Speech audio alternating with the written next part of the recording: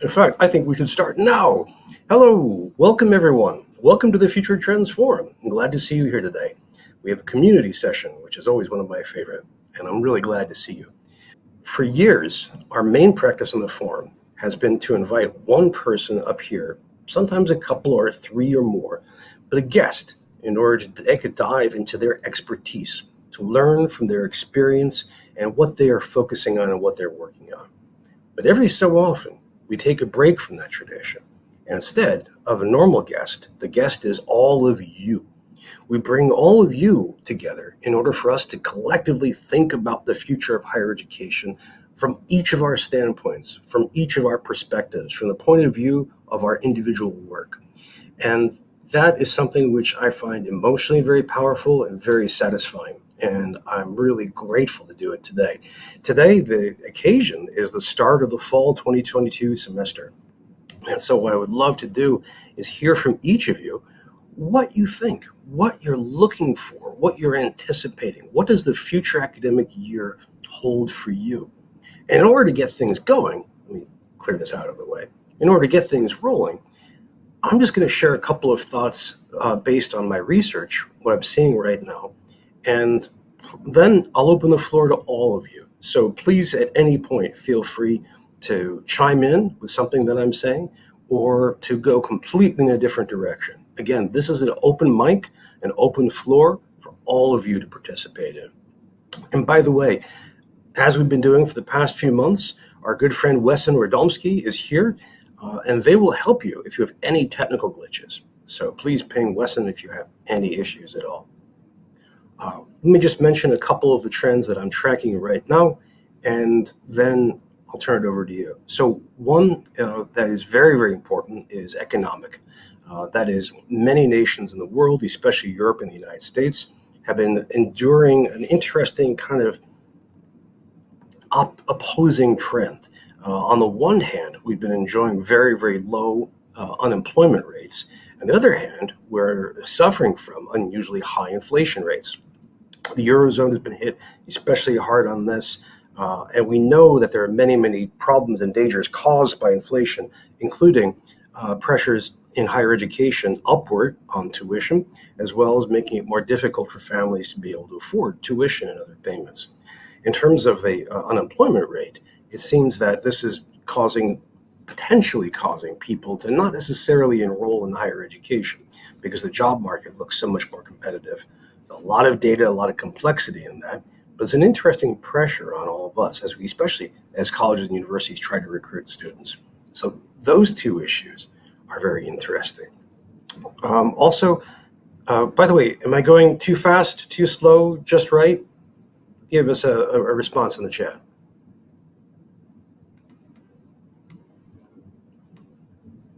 Lisa says, "Good." Lisa's tough to please, so I've, I've got to I've got to be um, happy with that.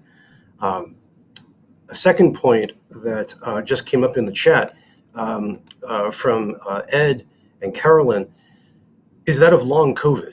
So let me get to that. We have short COVID, if you will. We still have the dangers of infection, and different campuses are responding in different ways. Uh, they have different regulations. Um, in, within the United States, the Biden administration is ramping down its COVID efforts. The pandemic is still pandemic. It is still killing several hundred people a day in the United States and sickening some much larger number than that. Uh, in fact, I'm here in Georgetown's campus. We are required uh, to be masked in all classrooms. Now, I'm not in a classroom right now, and I'm also by myself, so I'm happily removing the mask so you can hear my dulcet tones more effectively. Uh, but that's just one example. Um, so we still have these issues, and the long COVID issue is one that is just growing in salience. So, of course, long COVID refers to the tissue damage suffered by people. Some number of people, maybe 10, maybe 20% of people have been infected. And the tissue damage can occur in multiple places in the body, including the brain and the nervous system, uh, leading to brain fog or memory issues or coordination issues or joint pain can also afflict other organs, leading to, for example, difficulty breathing or heart problems. And the heart problems may be actually quite severe. One of the reasons this is a major issue is first, some number of academics, students, faculty, staff, um, have long COVID, and that is going to affect their performance and what they do. So think about what happens if you've got an administrator who has brain fog, or what happens to a professor who is just perpetually racked with joint pain, uh, or what happens to people who have to retire early because either you know heart problems or brain functioning. All of that, plus the fact that there is uh, emotional and personal pain and suffering as a result of this. So that's one piece of the impact. Uh, second is the possibility that this may change the work environment as well. If we have some degree of the workforce that is weakened or driven out by long COVID, again, that impacts unemployment and that impacts how we prepare students for um, for the workforce. And a third problem with this is that we may see medical costs go up even further because this means tens of millions of people potentially within the United States have long COVID who exert greater pressure and have more needs for medications, treatments, all kinds of therapies. So we may see that problem as well. Um, so I'm tracking this as closely as I can. Uh, there's a great deal of complexity, and we also don't have really good data about COVID in higher education. Uh, I would love to hear more and more of your thoughts about this. Um, in the chat, Carolyn says uh, there was an article on LinkedIn about compassionate re-enrollment uh, from Kim McNutt at CSU Dominguez Hills. Students may be stopping out due to long COVID, medical costs, and usual reasons. Carolyn, if you can, as a librarian, if you can find that link, that would be great to see. Um, I'm not saying, wow, that's a happy story. I'm saying it's very, very important to see that. So this is a good point, especially as we're trying to keep students enrolled. So COVID in addition to macroeconomics. Let me add to this as well some of the interesting dynamics that are happening now around demographics. Some of you know demographics is something that I obsess over and I've been researching for some time. There have been some interesting developments of late. Uh, one is that we are seeing the American lifespan drop seriously uh, by something like three or four years. And this is primarily as a result of COVID, which especially kills older people, as well as a continuing problem, the nightmare problem of deaths of despair, uh, mostly due to alcohol as well as other some forms of substance abuse. So while the American birth rate continues to lower, it may be that our mortality is beginning to accelerate as well, which is an awful thing. Um, a second issue along with that is there's finally been some interesting public traction around issues of fertility. I'm seeing more politicians, more thought leaders, more people in the nonprofit space, and some business people, most notoriously Elon Musk, expressing anxiety about falling birth rates. Uh, and so this is a political third rail to grapple with. It's very, very challenging. Um, but I, I, would expect to see more and more of that continue and there's there's no sign of American birth rates going back up. Now, the usual way that we have accounted for that or balanced that out is by immigration, and of course, immigration is not being that great either. Uh, oh, thank you, uh, Carolyn, for sharing that in the chat. Thank you very much. Uh, now, Deborah says they have a new president who has implemented uh, stricter standards academically for students at her small college. So numbers are down, but students in her courses seem to really want to be at college and to learn. They're all in person. Interesting, Deborah. So the quantity is lower, but the quality, at least of interest, is higher. By the way, Deborah, tell us what you're teaching. Um, also in the chat, uh, Tom Haymes, we need to meet students where they are in order to stem enrollment declines.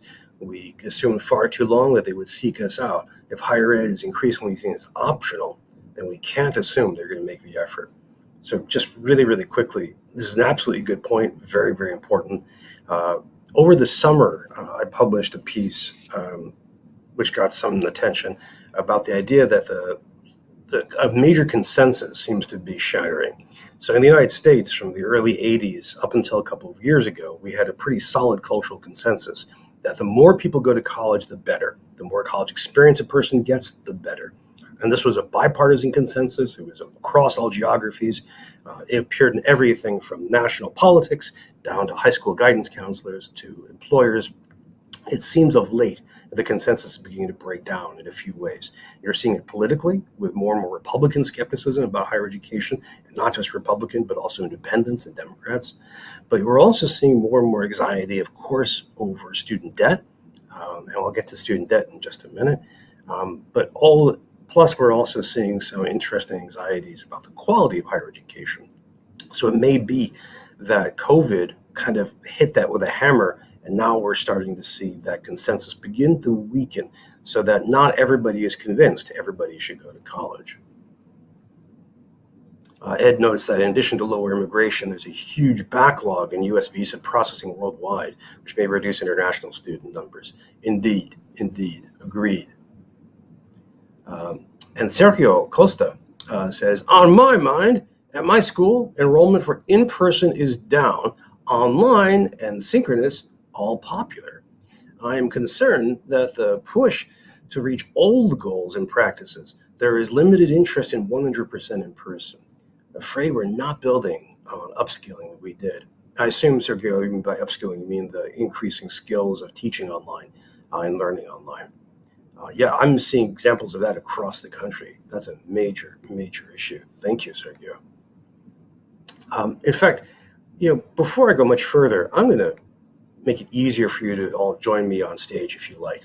This big teal colored box, um, this is a daring move on my part. If you press that button, it beams you on stage right away. I don't have to do anything. So you can just stumble on stage, leap on stage, climb on up as you like.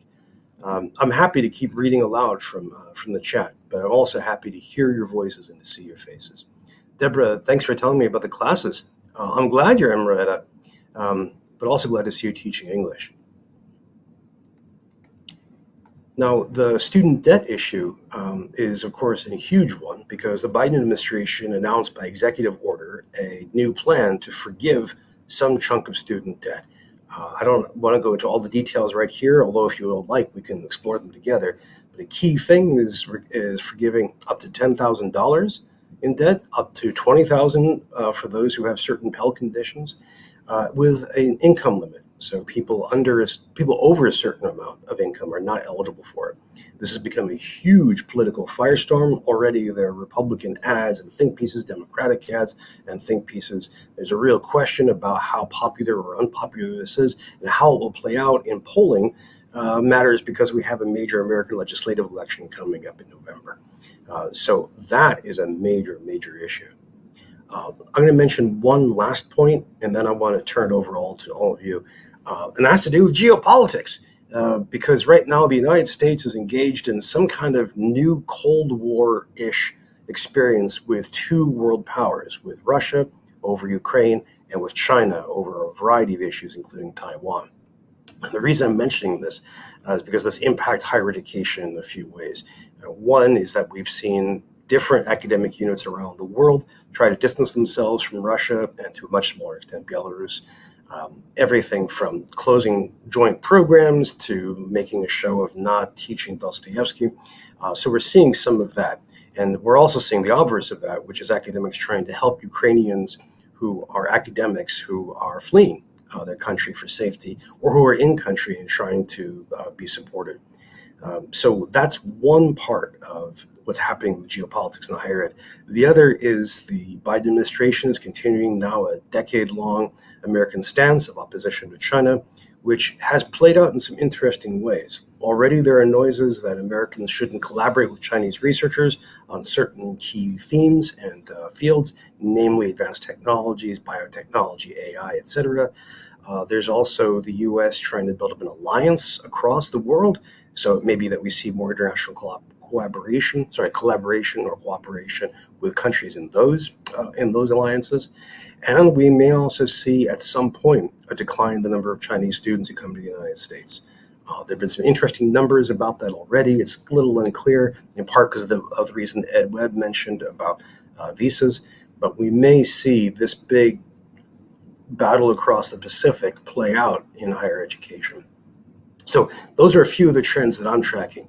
Um, I'm going to go through the chat here and pull up some of the topics that you have all come up with. Um, and if you would like to uh, comment, again, remember in the bottom of the screen, we have all those different buttons. So just if you want to type in a question that you want me to flash on the screen, uh, hit that in the Q&A box. Um, and if you uh, want to join us and you're feeling bold, press that teal colored button next to me. And if you want to join us, but you're feeling a little shy or diffident, just press the raised hand button and I'll bring you up when it's especially good. Um, so going through the chat here, Uh, Carolyn Coward has mentioned uh, part of her work is in open science, finding a new metric to measure the influence of published research beyond the H-index citation numbers and journal impact factor. Is there a better way to judge the effect of our scholarly work? Yeah, that's a great topic, uh, and, and, there's kind of two that are involved here, and they're they're both really really powerful. Uh, one is that measurement issue, and there's a lot of debate about what kind of metric we use to measure impact, and some of the metrics are published by companies, and there's debate about each of them. Um, and I haven't seen one that strides forth as uniformly universally accepted yet, um, but we need something better. But the other is open science. Uh, and we're seeing this both in terms of open access and scholarly publication, as well as open education resources. Um, open access, excuse me, just got a boost from the Biden administration, uh, where the Office of Science Technology Policy just issued a directive that previously the federal government had a policy of encouraging, if not requiring, all scientists who, who create scientific research with federal funds have to publish their research in open format within 12 months. Um, there's a kind of 12 month embargo period. Well, the OSTP just removed that embargo. So if Carolyn and her colleagues work on a project about, say, planetary mechanics, and it's published, it has to go open right now. So that's a federal push for open right there. Uh, open access continues to grow. OER continues to grow. Um, there's a lot, um, a lot of power for that. Flip side is what Ed Webb just pointed out and my thanks to Ed uh, for uh, for sharing that. Uh, that he's tired, he's exhausted, uh, and I think this is true across the board in academia. So many of us have been for the past three, nearly three years now, being asked to do a lot more under increasingly bad conditions, uh, and in some cases with a lot less, thanks to the COVID pandemic, thanks to uh, the anxieties and dread experiences felt by our students as well as the political turmoil within the United States. Um, there's a strong sense that academia is being pressed to the breaking point. Uh, I hear you, Ed, and I, I, wish I could give you a big hug to help you keep going. Um, just want to say for you personally, Ed, your puppy um, is unbelievably cheerful, and it always does me good to see a Instagram shot. Lisa chimes in and says, Yeah, I thought it was just me. No. Deborah agrees. We're weary. Um, and Roxanne brings in a related point here. Hello, Roxanne. Uh, noticing the reported teacher shortage in K through 12, and it doesn't seem to be at all impacting right higher ed right now. Um, yeah, I'm I'm interested in that disconnect. Um, in fact, not to keep going back to national politics, but the Biden administration this week announced that it was going to be working with private providers to try to do, you know, beat the bushes in order to get more and more candidates for K through 12 teacher jobs. But did not reach out to higher education teacher ed programs in order to do more of the same. Uh, and I haven't seen any new activity in teacher ed and higher ed along those lines. Although if anyone has, please let me know.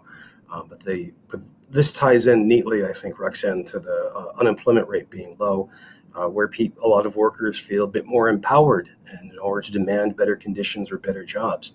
Um, plus, we have K through 12 teachers who are suffering the same kind of exhaustion and weariness that we all are in higher ed. Plus, they're suffering the the real direct brunt of a lot of politicalization of education right now. I'm glad you mentioned that. Uh, John Hollenbeck wants us, and John, good futurist comment here. Give it a year or two. This could be the next crisis as K through 12 uh, teachers leave the classroom. Yeah. Now it may be that uh, that a lot of local and state governments feel that uh, demographics are uh, driving this. You know that the demand, the number of students may be smaller, um, but this is something we have to really work hard on. Of course, it takes time to produce a teacher who can teach in those levels. Let me scroll back a little bit more uh, and find some more. But uh, but first, Philip Lingard wants to join us. So let me bring Philip up on stage.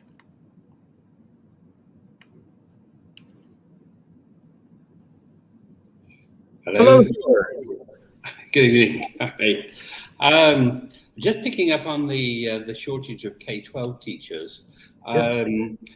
There is a particular sector which is the English for foreign language, uh, mm. the EFL sector, which I don't know what it's like in the States, but in Europe, uh, UK, Ireland, Malta, uh, more than 50% of the EF, EFL teachers have left the profession uh, because during COVID, obviously the um, you know, EFL is entirely private, so therefore they laid off the teachers.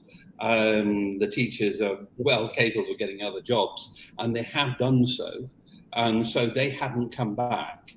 And that is um, creating a huge amount of pressure at a time that you've got English um, students beginning to come back internationally, but there simply aren't the teachers there to teach them. Wow. I don't know whether that's the same in the States. Um, my sense, Philip, I, I, I, haven't gotten the sense that, e, well, in the US, called ESL, English as a second language, um, right. that we, we haven't, I, I, haven't seen the same kind of drop that severely.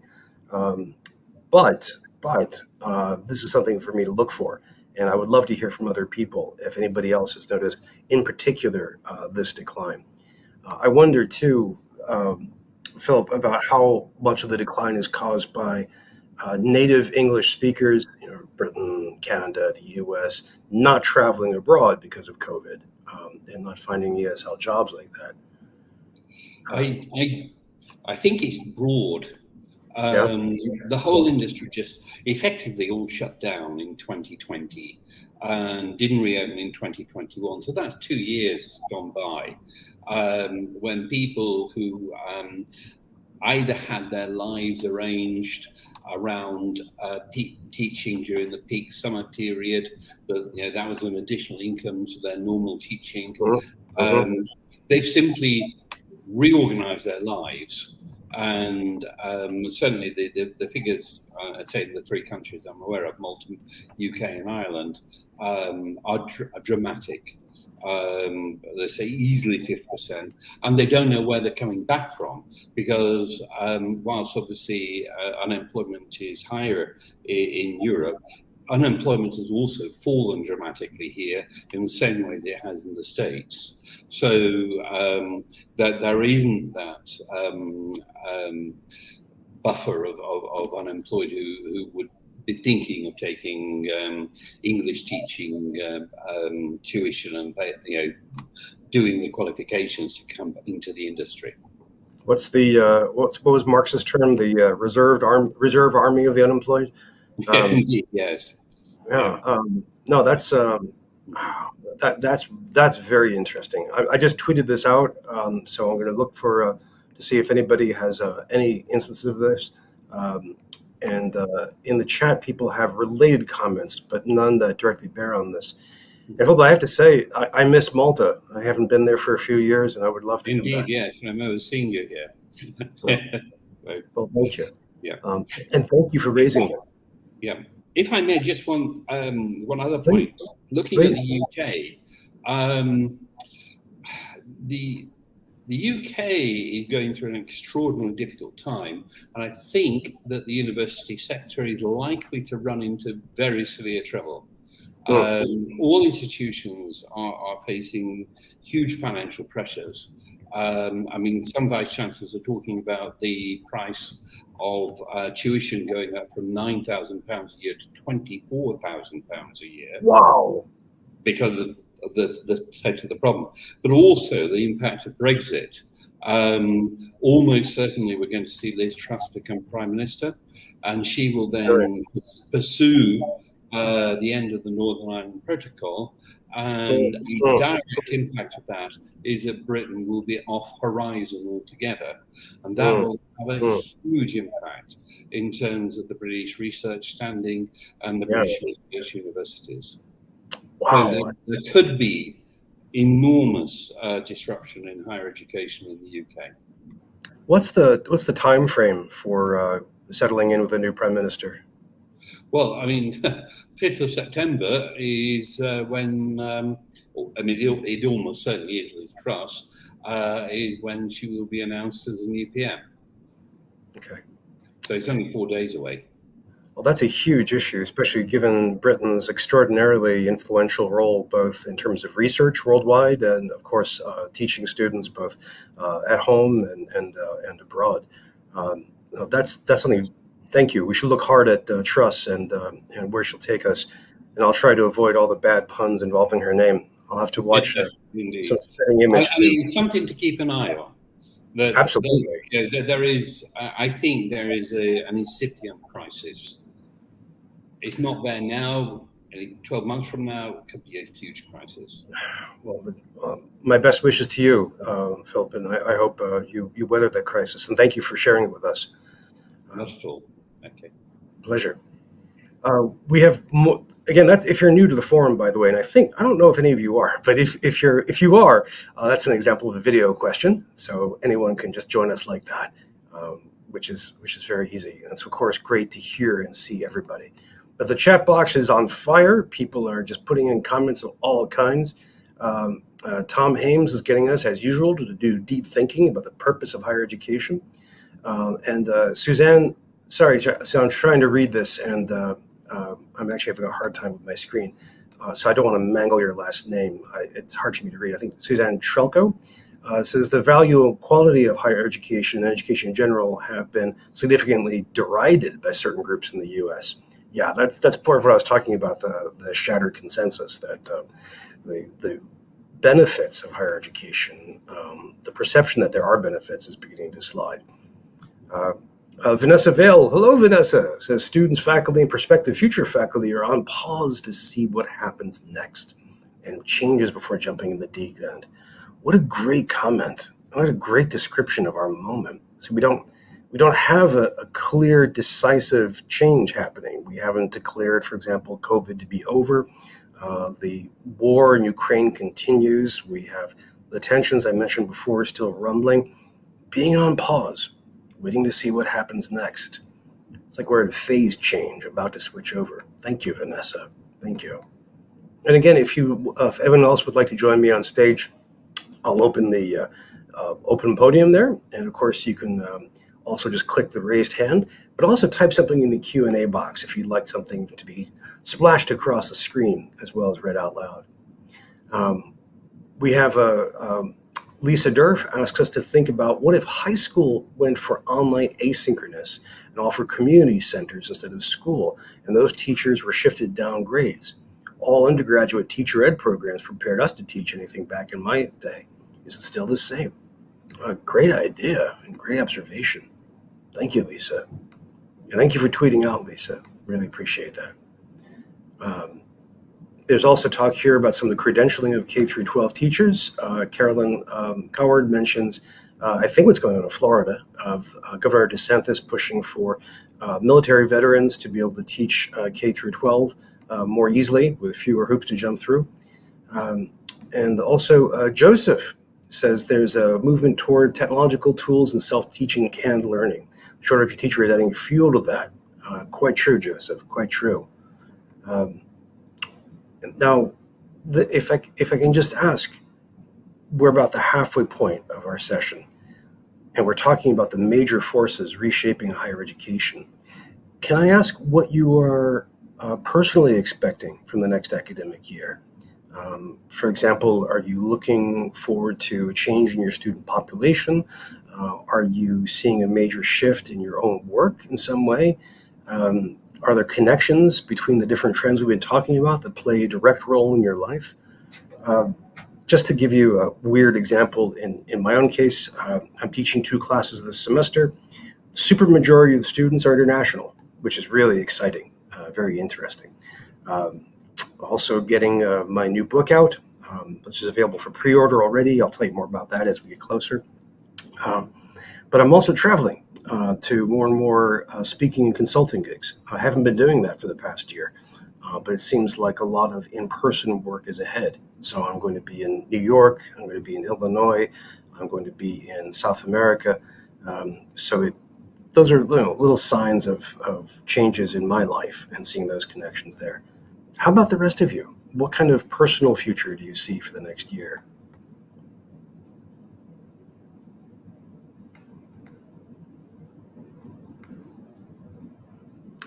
The awesome George Station uh, uh, responds to Vanessa's on pause comment on the anecdotal level uh, that that I think he's saying his first time uh, freshman engagement is slower and different. Uh, by the end of the second week, the 18 year olds are just settling in. I guess George, that means they're they're taking longer to settle in than before. Uh, Deborah says she's expecting more online graduate education.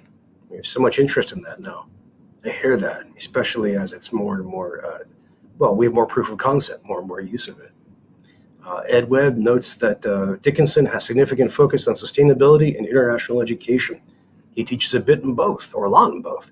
Great programming this year around the IPCC report and around sustainable development goals, but he's concerned about whether study abroad programs can recover post COVID.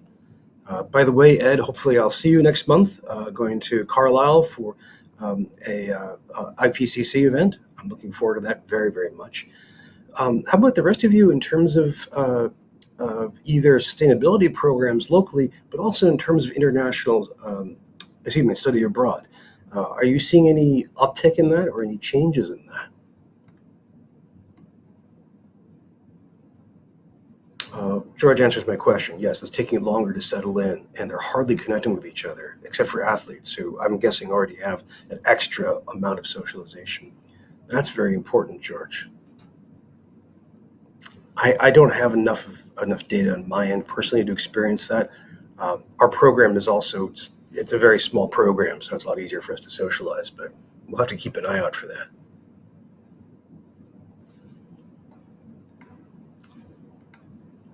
Uh, John Hollenbeck uh, says that he's interested in how Khan and other such free curricula are marketing themselves as remedial and preparatory resources for students returning to school. Um, yeah, that's a really good question because they are free and available material. And uh, if you're struggling with algebra or biology, the stuff is there, and that's a really good use of it. Uh, Ed mentions that uh, they have lots of international students on campus as usual and lots of international content. But our numbers studying abroad are significantly down. So that's for, for him and for Dickinson, that's primarily study abroad. Um, so the students haven't recovered yet.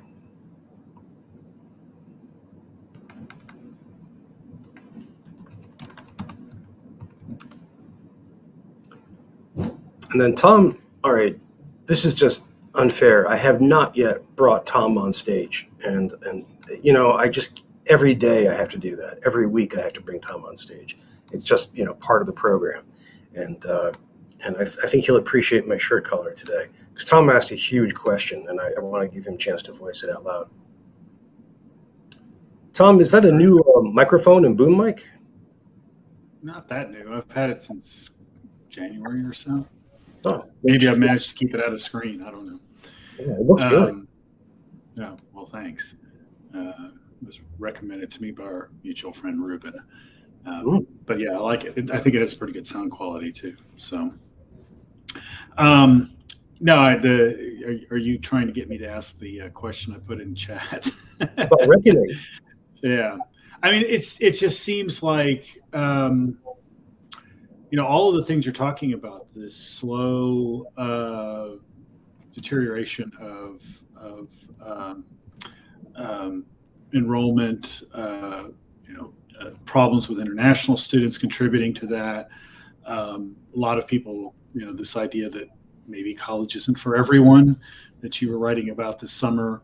Um, at some point somebody's going to have to ask the question you know is is what's going on here? Is the system that is you know driving this. Um, you know i've i've been trying for years to get people to say okay look you know we can we're going to have this demographic change. It's going to happen you know it's it's it's math right? I mean you can see the numbers spooling their way through the system. You've been talking about this for a decade. You know it's not news. So, you know, but what are you going to do about it? Uh, and, um, you know, the, the, the, the question there is, do you, how do you expand the audience? You know, if, if, if our only prime audience is 18 to 24, of a percentage of 18 to 24 that are quote unquote college ready or whatever mm-hmm. college, you know, capable or whatever you want to call it, mm-hmm. um, then that number is going to shrink. So if you want to maintain this, then you've got you know you've got to figure, you got to rethink you know who you're hitting with this. How do you change the informal nature of education so that institutions support that over much longer periods of time as a revenue stream, for instance. You know, um, things like that are not really being discussed. And on top of that, you get this slap in the face that we call COVID and the pandemic and remote teaching and all that sort of stuff going on. That again should be a wake up call. That you know you saw time and time again people falling back on very hmm.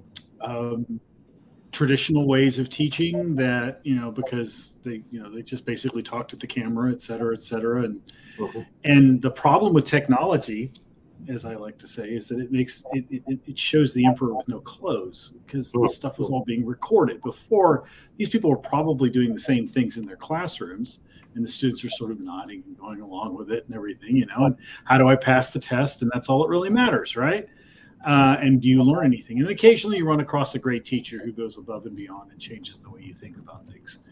But that's a luck shot. You know, I could probably count those people from my own academic experience on on one hand. Uh, out of the dozens and dozens of teachers and professors I had in my academic career. So, you know, this there's something completely amiss with the way the system uh, treats uh, the way we think about learning and teaching, there's a disconnect. I actually just posted a blog on the Shaping EDU site about open loop learning versus closed loop learning, and the fact that I'm kind of, that I'm that I'm I constantly what's really come open come snap in the face again. I mean, this is not a new thing, but you know, this semester uh, at this at the beginning of the semester is as I try to explain how my class works, and my class is very much built on this idea of which I stole from uh, Doug Engelbart of Collective IQ, and that, that that that we we need to strive toward the margins and try to do things and grow as learners. And my students are like, well, what? Just tell me what you want me to write so I can pass. And that's a product of closed loop learning. I mean, we we have trained them with the system for the last you know the last 18 years of their or 12 years of their lives or however many years of college uh, how many however many years of education they have that this is how you do it. You know, you run your way through this little rat maze, and and and you you kowtow to the teacher, and you pass the test at the end. And any learning that happens along the way, there's fairly incidental. Um, and so, how do you know? And then higher education, you get to a point where it's voluntary. And there are people I know that ask, why would I pay to have this inflicted on me when I mm-hmm. didn't like it when it was inflicted on me for free in K 12? Yeah, you know? yeah. And yeah. so these are all hard questions that I don't think anybody's really looking at. And, you know, I kind of wonder, you know, I'm thinking about systems theory and, and systemic uh, change. You know, what is it going to take for, you would think that COVID would have just knocked things off kilter enough. And maybe it will. Maybe it's just a delayed reaction. Um, but I, the trend I see now is actually, in a lot of ways, there's a, there's a, there's a there's a big push to go back to quote unquote normal. Um, and I don't know if we can do that. I don't know if we have the teachers for it either. That's the other question. You know, we're losing the people who can can run the system too. That's that's that's the one. As usual, Tom, you, you've said several great things, and I I, I want to grab them. And friends, I would love to hear your responses to Tom, uh, even better. Um, Tom and I talk every day, and, and, I'm sure he's bored of what I have to say. But but one never. But you mentioned one key structural component, which is that if if we have a lot of faculty and staff right now who are not interested in doing something bold and exciting in terms of teaching, and on top of that, as we established earlier, a lot of us are worn out, exhausted from the past few years. Well, how do we go about changing that? I mean, so the one hand you have how do you transform the faculty who are pre- currently working, but then how do you add more into the mix? And we know it takes years to develop faculty at a college mm-hmm. level. Uh, so it may right. be that that's a long-term problem, and that we have to. So we need some kind of massive amount of professional development, but at the same time, we have to do it in a way which doesn't burn people right out, uh, because we have so many, so much of that, uh, so much of that dread and pain right now. I think we need to deconstruct teaching and think real hard about what you do in the course of a general semester. And ask yourself how much of that is uh, has to be done by you as the faculty member. How much of that is specialized in a way that has to do with your discipline or what you're you know what you're trying to teach? And how much of that is just you know pushing papers and and or or pushing content right? Which is out there anyway Um, you know, one of the things I've done in my classes is I've moved almost all of the content out of the live sessions. We rarely talk about content except as it relates to the projects we're working on. We bring it in, but we don't I don't start that way. And it's all in my Canvas shell, it's all recorded. And you just, you know, if you if you need to know that, then you you you watch, you know, uh, watch it. And what I'm giving them in the in-person sessions is how to learn and how to process the information, how to do things cool with it, you know, how to build communication and stuff like that.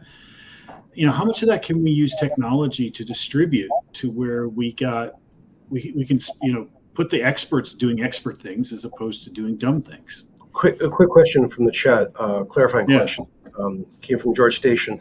Uh, deconstructing versus unbundling. Can you clarify? Well, when I'm saying deconstructing, is I'm saying analyzing. Um, unbundling applies action, but when I'm saying deconstructing, I'm saying think. You know, I, I did an exercise a number of years ago where I very carefully took every piece of my class and or the way I teach and say, what exactly am I doing here? What's my intent here? How can I use technology to ease the workload, so to speak, on me, so that I'm, you know, not uh, so that I can concentrate on the student rather than the workload and um, so that's you know and that that's a complicated process and it's one it's a self inventory is what i consider deconstructing. Unbundling is the the second part of that where you take that information and you say okay these are the parts that i need to do live. These are the parts where i need to be having a conversation with you a live conversation where we can talk back and forth. These are the parts where i don't need to be having a live conversation where you're sitting in the back of the room sleeping so I'm going to put those parts where you can watch them when you're awake and when you want to, when you're when you're mentally ready to engage with them. And then I'm going to leave the other parts in the classroom. And my classes are a lot more efficient. I spend I actually use this as an opportunity to break up my classes into two halves so that I'm dealing with smaller groups of students. And each group only meets for half of the class time, and the other half is online. And so I can essentially teach a 32 person class like it's a 16 person class, which, which is helps a lot. Uh, uh, and Tom, as always, I tell you, and you hate when I say this, I, I would love to be one of your students. Um, but, but we have we have comments that came in, in the chat. I want to make sure people, uh, you, and these I think hit you pretty directly. One is from Joseph, who says, "I'm not really pivoting anymore. The barriers between work and personal life are dissolving with online teaching. I am outside the LMS as much as in, teaching uh, whoops, sorry, uh, teaching on closed social media networks, the expectation for my students of a 24/7 availability is real. I just wonder what, what if you want to respond to that. Well, I mean, you, you got to set expectations with your students. I mean, I, I say, look, you know, I, I, I, try to get back to you within 24 hours, but I, you know, I sleep between the hours of 11 and 5 or something, or 10 and 5. So I'm not going to answer an email at that point uh, unless I have insomnia every so often I do, and I, am sure I surprise the heck out of them because I'm like, I'm at two o'clock in the morning and I can't sleep. But um, uh, as I get older, that becomes more common. um, you know, but uh, no, I mean, I, I definitely set boundaries um, in terms of uh, availability. I also schedule individual time into my class time. So every week, uh, a couple of weeks during the semester, I cancel the, the, group classes and I meet with every student individually and uh, instead and, and I set that up as a scheduled time. Um, and so that time is and I you know I prioritize listening to them during that time.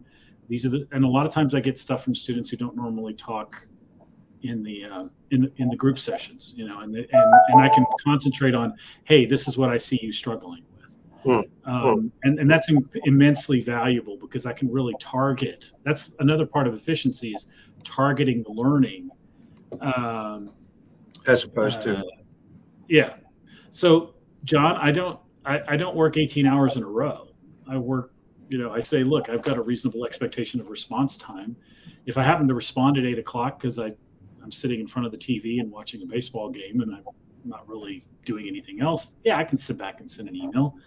Uh, but I don't feel I don't feel enslaved by that in any way. And, and if I'm going to leave town for a, a, a um, extended if i'm going to be traveling or something like that i'll tell the students i'll say look you know i'm going to be unavailable because i'm going to be on a plane or something like that just be aware, and I'll get back to you as quick as I can. And I've just, I've not had a problem with that really, and I don't feel like it. It, it it's not about. Everybody talks about the work bleeding into your into your uh, personal life, and I, have never really felt that as being. You know, I, I have a personal life during the day. You know, I don't work nine to five in an office where people are watching me all the time to make sure I'm not uh, playing solitaire or something. Um, and so during the day, I'll I'll take breaks. I'll go do something else for a while. I'll you know, like everybody does at work, and they just don't tell you about it. The reality is, you just sort of integrate it all into an overall flow. And and there are times when you do say, "I'm sorry, I'm shutting this off." Well, I think you're I think you're ahead of everybody on this. Um, I have a similar a similar life and similar structure, but th- there's a question. I had a conversation. Oh, real quick, I had a conversation with another faculty member this morning as part of a uh, oral history thing we're doing on the pandemic, and she said something really amazing in the sense that, you know, in the digital world, time changes, and we if we if we expect it to conform to the way it used to work, it's a little like evaluating um, aircraft on the basis of trains. And so we have to sort of think a little differently about how we don't work eight to five anymore you know, we have little chunks of work here and there and there and there, and then we spread that in between the stuff, you know. So I mean, it's it's it's a different mentality. We don't punch the clock. Sorry, go ahead. You, you, need to send me that uh, that naval wargaming title that you were recommending to me before because I, I, missed it. Uh, Charles Roberts, speaking of wargaming, and he, he hates it when I keep saying this to him. Charles Roberts says, uh, in history and some other fields, you've got something like a one out of four chance of putting a tenure track job with a PhD. I'm not sure how much you can encourage bold instruction in a publish and still probably perish environment. You know, the, the biggest proportion of faculty in the U.S. are, are adjunct. You know, the majority are including um, and and so it's uh, I guess we, we, from some of the research we've seen that if administrations ask adjuncts to be bold, they they become bold because that's a condition for hire. Um, but again, we're running into problems of, of, uh, of, supply and exhaustion. But I run into disconnects on the same front. front. I mean, um, in the sense that I had a situation this summer where I had a long conversation with an ADA counselor who was trying to figure out a different way to make my course work. And I'm like, it, it doesn't work a different, it's a design process, you know? Yeah. And so were there alternative assignments? No, but the assignments I do give are not timed and they're not set up in a way that would, I've never had problems with students with disabilities in this class. And as a matter of fact, every ADA letter I've gotten since I've redesigned my class, I've basically ignored because they're all about extended test times. We don't give tests, so that's not an issue. Yeah. Know? so I mean, but the idea that you're doing something very different from the normal flow is uh, a real challenge, not just for the students to wrap their heads around, but also for administrations uh, and uh, things like contact hours. You know, how many contact hours? How do you measure butts and seats when there are no seats? When there are no chairs. we're going to come back to that topic, I think. Tom, let, let me let you uh, resume your chair in peace. Um, and okay. Thank you, thank you as always for coming on stage. Thanks. Um, a bunch of responses camp in chat, and I just want to I, I want to draw hoist a few of these up because I think I think they're they're they're awesome. Uh, Lisa Durff, a committed teacher, says if a student pops up in Teams, yeah, she'll answer them. Um, Deborah says that she's done individual visits in small groups for 30 years now. So you, Deborah, are another person ahead of the crowd. Excellent. And it drew real criticism at, my, at her three-year review many years ago. Now no one questions it. It's always the challenge of doing something new. Always that challenge. Thank you, Deborah. Um, uh, and then there was a oh gosh, a whole series of, of, of comments. Uh, this chat is just terrific. Um, George answers one of my questions. Thank you, George. Um, and then uh, Carolyn Coward points out uh, you don't need to teach facts. Facts can be found anywhere. Expertise is teaching context, analysis, understanding, and next level thinking. Absolutely, absolutely. And then uh, Don uh, mentions being haunted by my comment um, about uh, this opportunity we have for doing bold and creative rethinking of higher ed, yet we're overwhelmed. And he asks a really, really good kind of leadership question. Is there a way to identify the innovators and run interference so they can meet this moment? Yeah, run interference and really support them. Uh, that's a good question, Don. Um, I wonder how that might play out at your institution. Uh, we have um, uh, more comments that are coming in, um, and people are just, you know, talking back and forth, which I love, uh, and it's great to see. Um, I'm going to try and sum things up if I can a bit. Uh, it seems that all of you are seeing uh, certain things happening over the next year, uh, and you're seeing certain things not happening. Uh, so you're talking about exhaustion, fatigue, a sense of overwhelm. Uh, you're talking about students who are coming to us, some for the first time, uh, with some disconnect as a result of the COVID years. some of you are also talking about different ways of teaching and being creative about teaching that may or may not be supported. Um, and yet, at the same time, there's the sense that we're in a strange kind of interzone, a kind of interstitial moment where we don't have a clear direction forward and it's not clear what is actually happening in a major way. Um, and that gives a lot of us pause and makes it more difficult for some uh, in order to do something experimental and new. Um, it may be that some of the giant trends I was talking about at the very beginning of the hour uh, are playing a role here uh, in terms of everything from the economic stresses uh, to some of the flows of international students and geopolitics. Um, but this is definitely a, a, moment that has a lot of possibility.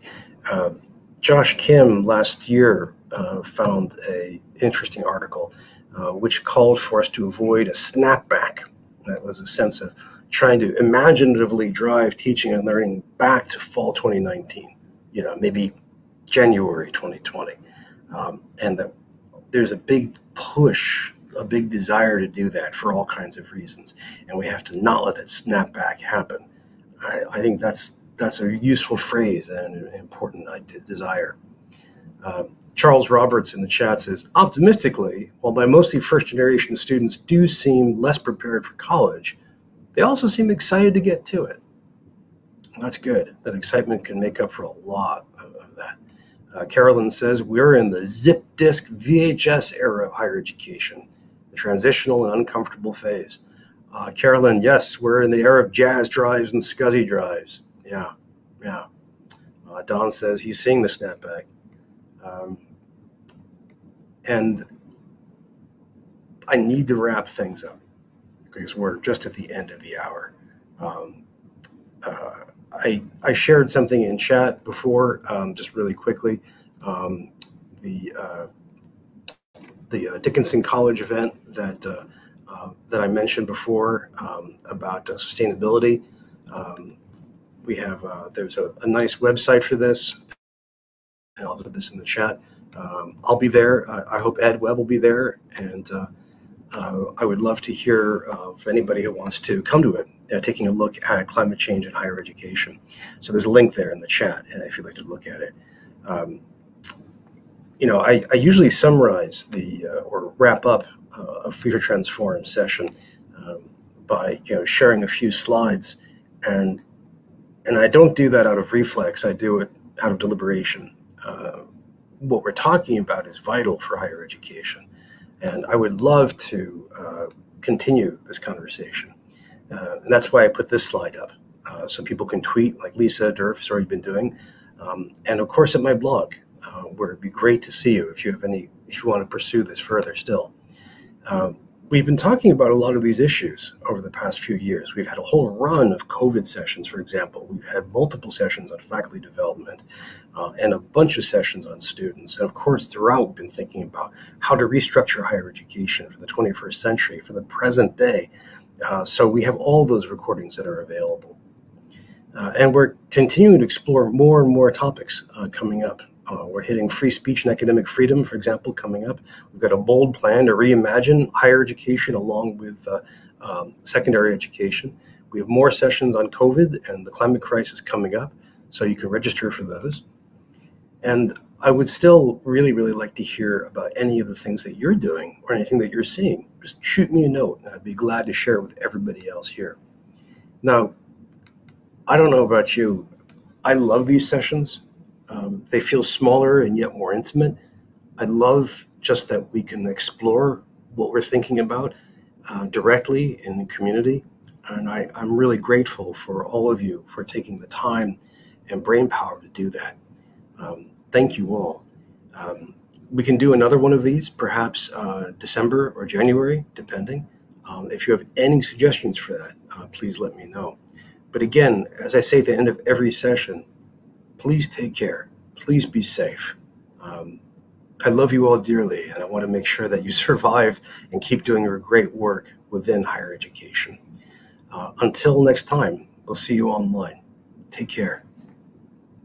Bye bye.